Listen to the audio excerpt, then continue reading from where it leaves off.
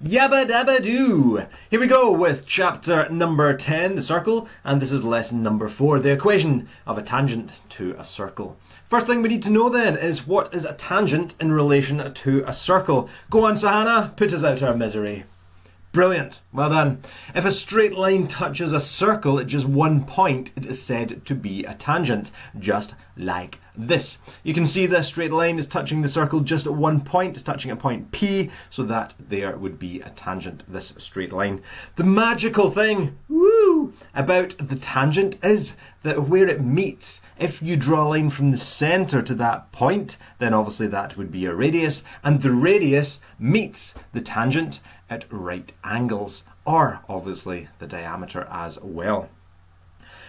What we're going to do then in this lesson is to work out the equation of the tangent. And obviously a tangent is a straight line, so we're really wanting the equation of a straight line. So for that, we can use the gradient of the radius. So if you know the center and you know the point, you could work out the gradient, y2 take y1 over x2 take x1. And you could then use that point P, that's a point on the tangent, to work out the equation. Really, what you want to do is you want to think back to chapter one and you think gradient point equation, way back from the olden days. So let's try a few examples. Example one, the point P 2, 3, lies in the circle x plus 1 all squared plus y take away 1 all squared equals 13. Find the equation of the tangent at P. What you may wish to do is to imagine that. So you may wish to go off to the side and draw it. But the first thing you may want to do before that is you may wish to write down the centre of the circle. Remember, a circle in this form here will have a centre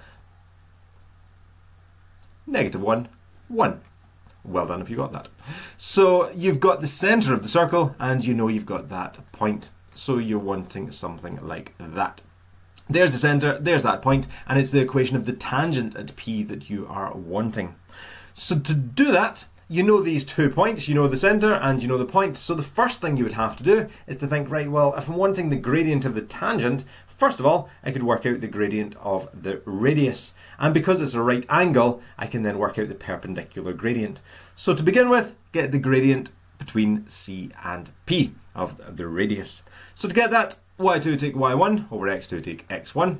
If you do that, you'd have y2 take y1, so 3 take away 1, over 2 take away negative 1, which will give you 2 over, that'll become an add, so it's 2 over 3. So that then is going to be the gradient of the radius. As I just said, if you're wanting to get the gradient of the tangent, well, it's a perpendicular gradient, so really you're flipping this upside down, woo, and you're changing the sign, so this is positive, so the gradient of the tangent will be a negative, and that will give you negative 3 over 2. From there, what would you do, Kung Fu Matthew? Brilliant, well done. So you would use the gradient of the tangent, which is negative 2 over 3, and you would use that point of contact, which is 2, 3, and you would sub that into the equation of a straight line, y minus b equals m bracket x minus a.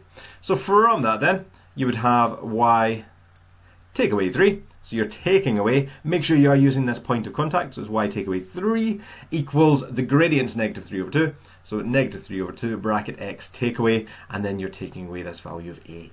So it'll be x take away 2. From there, what I'd probably do is to think, well, you've got a fraction here. Fractions are always a bit harder to deal with, so let's get rid of that fraction by multiplying both sides by 2. So you're undoing this, divide by 2. Really, you could move that over or multiply by 2. From there, if you do that, if you multiply the y by 2, you get 2y. Multiply the negative 3 by 2, you get the negative 6. And that would equal, you're undoing then this divide by 2, so you'd have negative 3x take away 2. Or negative 3 bracket x take away 2. From there, just multiply with the brackets and just simplify. Gather your like terms. So you've got the negative 6 there, the 6 there, just put them together. So add 6 to both sides, so you would get the 12. I'm also moving the x over. So as long as you've got something that looks similar to this, and that would be the equation of your tangent. Example number two. Show that the point A, 3, negative 2, lies on the circle with equation x take away 2 all squared plus y plus 1 all squared equals 2. HSD, Liam, how do you show this? Brilliant! You can use substitution. So if A lies on the circle, you're using this coordinate, A, it's telling you it lies on the circle. So x is 3 and y is negative 2. And if you substitute them into the equation of the circle, well, it should satisfy this equation. So let's do that. Taking the left hand side then, so x take away 2 all squared plus y plus 1 all squared. If you take that, let's substitute the values of x and y in and see if we get 2. So from that, you'd have 3 take away 2, replacing x with 3. Replace y with negative 2, so negative 2 plus 1 all squared. Simplify that, you get 1 squared plus negative 1 squared, which gives you 1 add 1, which is, woo, 2. So that is going to equal the 2 on the right hand side. So really, your left hand side equals the right hand side. And because of that, well, it means your equation is satisfied. So you could say that the 3 negative 2 lies on the circle. Part B, find the equation of the tangent at A. Once again, similar to example one, you may wish to sketch that just off to the side, do a rough sketch. But first of all, you're probably best writing down the centre of the circle. Remember, if you have the equation of the circle in that form there, it's easy enough to read off the x and y coordinates. So here you've got a negative 2, so the centre will be 2. And here you've got a 1, so you'd have a negative 1 for the y. So that's the centre of that circle. If you do a rough sketch, well, you've got the centre of that circle with 2, negative 1. You know that the point A, 3, negative 2 lies on the line, and you're wanting the tangent at A. So you've got the circle, and then you've got this line that's touching just at A. Obviously, again, because it is a tangent, it meets the radius at right angles. Yes! So, you can then work out the gradient of the radius between C and A. So to do that, again, Take these two points and you do y2 take y1 over x2 take away x1. So you've got negative 2 take away negative 1 over 3 take away 2. Work that out and this would give you negative 2 add 1, which is negative 1, and obviously 3 take 2 is 1. Negative 2 divided by 1 uh, sorry, negative 1 divided by 1 just gives you negative 1. From there though, we don't want to use that gradient, we're wanting the perpendicular gradient. So to get the perpendicular gradient, again, you can flip that and change the sign. Maybe think about it as this fraction here if you aren't unsure. But if you flip that, you still get 1 over negative 1, but change uh, the whole thing from a negative to a positive. So the gradient of the tangent would just be 1. From there, well, you want to use the gradient of the tangent and use this point of contact in order to get the equation. So, it's a straight line, gradient point equation. So y minus b equals m bracket x minus a. You'd have y take away negative 2, which is y add 2, equals the gradient's 1, uh, bracket x take away 3. If you multiply the brackets, simplify that, you can subtract 2 from both sides, and you would have y equals x take away 5 or y take away x equals negative 5. Write it in some other form if you want, as long as you have simplified it. Example number 3. Show that p negative 1, 2 lies on the circle with equation x squared plus y squared minus 2x minus 3y minus 1 equals 0 and then find the equation of the tangent at p. So this example is very similar to example number 2. So the first thing you want to do, HSD Liam, tell us one more time. Oh, what a guy. Perfect. You are wanting to use substitution. So you know x at this point is negative 1, y at this point is 2. If you sub the x and the y values into the equation of the circle, well, it should satisfy the equation. In other words, the left-hand side should equal the right-hand side, or in other words, 0. So doing that then, that's the left-hand side, the equation of the circle. Uh, substitute in x and y. So you're substituting in the negative 1 in place of x, the 2 in place of y. So you'd have negative 1 all squared plus 2 all squared, and so on. If you multiply out the brackets here, you're just thinking take away 2 times negative 1 will give you plus 2, and so on. Simplify that, and you get down to 0. Just be very careful with the negatives. We are getting down to 0. That is what the left-hand side would equal. The, the right-hand side also equals 0, so you can say that the left-hand side equals the right-hand side. Yeah!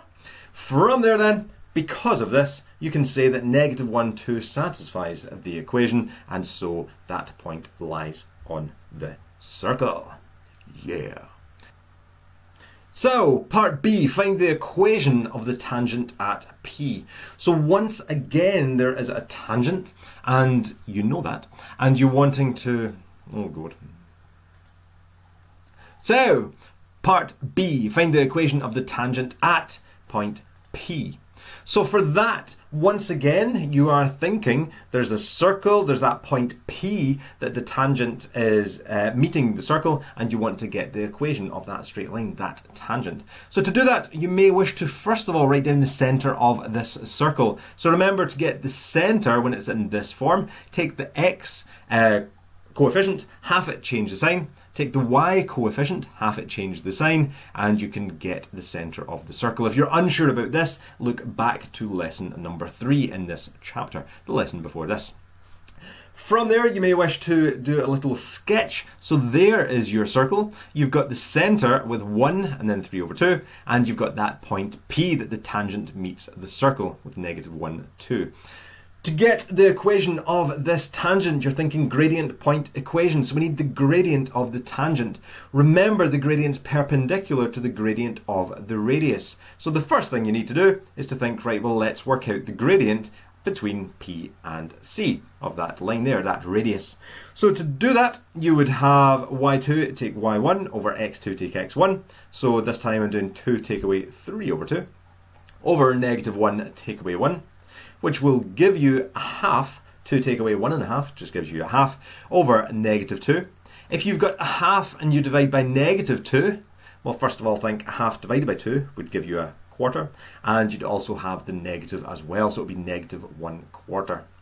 That is the gradient of the radius, but you're wanting the gradient of the tangent, and to get the gradient of the tangent, Sammy, you Good. You can flip that and you can change the sign. It's the perpendicular gradient that you want. So the gradient of the tangent would be 4 over 1, uh, which is just the same as 4. From there then, using the gradient of the tangent and that point of contact P, you can think y minus b equals m bracket x minus a.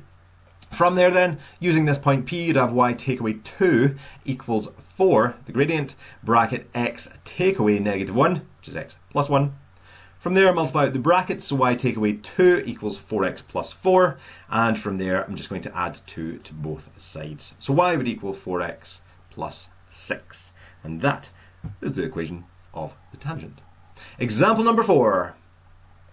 The diagram, diagram, shows a circle center P with equation x squared plus y squared plus 6x plus 4y plus 8 equals 0. Find the equation of the tangent at point A. You can see there is point A here, and that is negative 1, negative 1, which lies on the circle. Part B, the tangent crosses the y-axis at B, so you can see that. There's a tangent that's going through the y-axis. Find the equation of the circle with AB as a diameter. We'll get onto that bit in a second, but first of all, find the equation of the tangent at A. So the first thing that you want to do for this, again, is you think, right, well, what's the center of this circle? If you know the center, you can then work out the gradient of the radius. You can flip that to get the perpendicular gradient or the gradient of the tangent, and then think gradient point equation. So first thing, the center of this circle. What would you have for that, Leah? Perfect, well done. The centre of this circle, half that changes sign, half this coefficient changes sign, and you get negative 3 and negative 2. So that is going to be point P. From there, you can work out the gradient of the radius between P and A, and that would equal y2 take y1 over x2 take away x1. So you would have negative 1 take away negative 2 over negative 1 take away negative 3, which will give you negative 1 plus 2, which is 1, and then negative 1 plus 3, which is 2. From there then, we know the gradient between P and A is going to be a half, but we're wanting the gradient of this tangent. So to get that, flip it, change the sign, perpendicular gradient then would be negative 2. After that then, you have the point A, that is the point of contact. You have the gradient of the tangent with negative 2, and you can use y minus b equals m bracket x minus a. So from there, make sure you are using this point A, so you'd have y take away negative 1, which is y plus 1, equals the gradient negative 2, uh, and you would have x take away negative 1 again, which is x plus 1. From there, multiply out the brackets, gather your like terms, simplify that, and you'd have y equals negative 2x, take away 3. And that is the equation of the tangent. So that is your answer for part A. Part B then, the tangent crosses the y-axis at B. Find the equation of the circle with AB as a diameter. So what that means then is that you're going to have a circle that has AB as the diameter. So you'll have a circle that's hopefully drawn by that. And between A and B, you've got the diameter. So you want to get the equation of that circle. Obviously, to get the equation of a circle, you need to know the centre and you need to know the length of the radius. So how would we go about getting that? What's the first thing that you would have to find? Mary Lou, help us out. Brilliant, we need to know this point B. If we know this point A, we need to know B in order to work out the length of the diameter. So to get point B, how do we do that, Mary Lou? Good. That lies on the equation of the tangent. So the equation of the tangent, y equals negative 2x take away 3, and we know that this line is going to cross the y-axis when x equals 0. This point B is going to be 0 something, so that is the first thing that you would do. Well done, Mary Lou. So, you've got y equals negative 2x take away 3, and it cuts the y-axis when x equals 0. If x equals 0 then, you've got negative 2 times 0, so in other words, y equals 0, take away 3, so y is negative 3. So we now know this point B. Again, we're wanting the equation of this circle. So we know point A and we know point B. Uh, from there, we also need to know the centre of the circle. Olivia, how would you get that? Brilliant, it's just the midpoint between A and B. So we've got point A and we've got point B. So the midpoint of AB then, remember you can add the x coordinates and half them, add the y coordinates and half them, and that means the centre then is going to be negative a half, negative 2. So that is the centre of this circle. Uh, how would we go about getting the radius, Andrew? Good, really you could just use the distance formula. You could use that, let's call the centre C, C for centre, uh, as it says here. So really you could work out the distance between C and A or C and B and that would be your radius. So to do that, let's just say the radius squared equals, well I'm just going to use B and C, so it's BC squared. So to get that, you would use the distance formula. So remember, you're wanting to take point B, which is 0, negative 3, you're wanting to take point C, and from that you can just subtract the x coordinates and square it. Subtract the y coordinates and square it, and you would get that. That would become then 0 take away negative half as a half all squared. Uh, plus negative 3 take away negative 2 would give you negative 1 squared, which gives you a quarter plus 1, which is 5 over 4. So that is what the radius squared is going to be. If you think about it though, our equation is x minus a all squared plus y minus b all squared equals r squared. So we don't actually have to go and find out what the radius itself is. We're happy enough getting r squared. And from there, if we know the centre is negative a half negative 2, if we know the radius squared is 5 over 4, we can sub that into the equation. So you'd have y, uh, x, sorry, x take away negative half, which is x plus a half, all squared, plus y take away negative 2, which is y plus 2 all squared, and that would equal your 5 over 4, because that is what r squared is. That is how you would do that question, and that's the equation of that funky little circle here. Woo! Funky little circle. From there, try some of these questions. There are four examples. Go back to any if you are unsure, but it's basically just finding the equation of the tangent to a circle. Good luck. Enjoy. Circles.